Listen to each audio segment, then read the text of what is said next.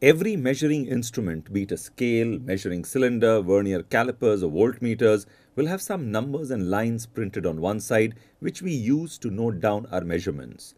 But what is the smallest measurement we can take using them? Let us find out by looking at a few measuring instruments. We will use different measuring instruments such as a centimeter scale, a stopwatch, thermometer, measuring cylinder and a protractor. Here we have a centimeter scale. The part from here to here is 1 centimeter and the fine lines divide the centimeter into 10 equal parts. Hence the least count of the centimeter scale is 1 tenth of a centimeter or 1 millimeter. Next we have a protractor. This is 0 degrees, 90 degrees and 180 degrees the least count of the protractor is 1 degree. Now we have a thermometer here.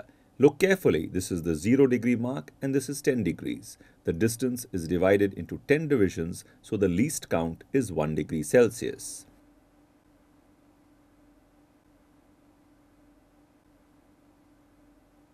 Now take the measuring cylinder.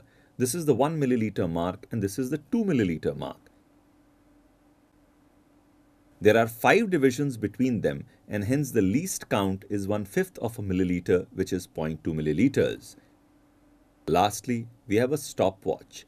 Its initial mark is 0 seconds and this is the 5 second mark. So the least count is 1 second.